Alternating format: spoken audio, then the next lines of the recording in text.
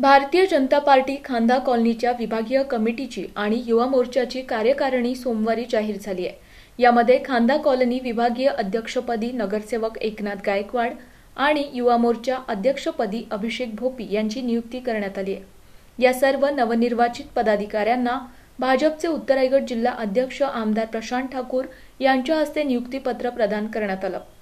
Bharatiya Janata party प्रभाग क्रमांक पंधराच्या खांदा कॉलनी विभागीय अध्यक्षपदी नगरसेवक एकनाथ गायकवाड कार्याध्यक्षपदी जितेंद्र माने सरचिटणीसपदी संजय कांबळे भीमराव पोवार उपाध्यक्षपदी नितीन विचारे प्रकाश खानावकर सचिन मोरे चिटणीसपदी प्रवीण भोसले नामदेव कोरे संतोष लोटनकर मच्छिंद्र वर्तक खजिनदारपदी राजू महापूरकर तसंच भारतीय जनता युवा मोर्चा खांदा कॉलनी अध्यक्षपदी अभिषेक भोपी सरचिटणीसपदी रोहित कोळी सिद्धेश खानावकर उपाध्यक्षपदी अनिकेत गायकवाड शशिकांत इंगळे अनिकेत घाडगे सचिवपदी राहुल कांबळे विनोद अडसुले खजिनदारपदी कौस्तुभ कुडेकर सदस्यपदी सचिन धोत्रे ऋषिकेश साबळे आकाश सोनावणे राहुल पोवार अजिंक्य टेमकर मिलिंद घाडगे अभिराज म्हात्रे हर्षल सावंत सोहम कनगुटकर जयराम फाड मयूर वाघमारे यांची नियुक्ती करण्यात आली आहे.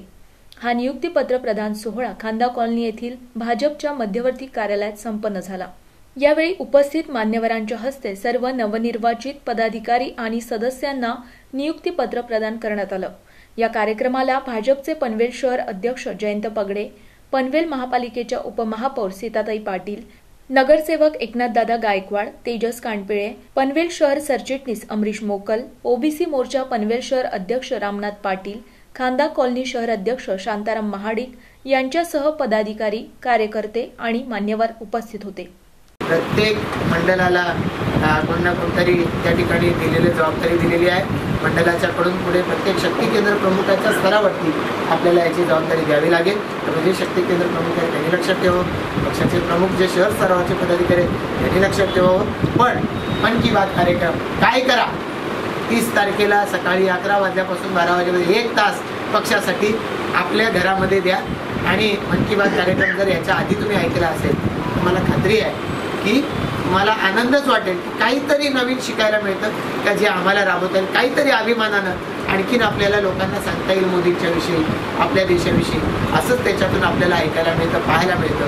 हे पाहणं कारण त्याच्यामध्ये ते जे बोलतात त्याच्या सोबतीनं जे त्या ठिकाणी जे दृश्य दाखवली जातात ती निश्चितच आपल्यासाठी प्रेरणादायी असतात. याच्यामध्येही सहभागी व्हावं अशी विनंती करतो.